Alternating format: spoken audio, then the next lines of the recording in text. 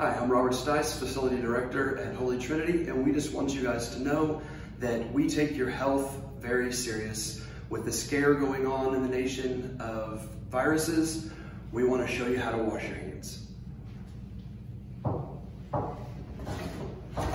Praise God from whom all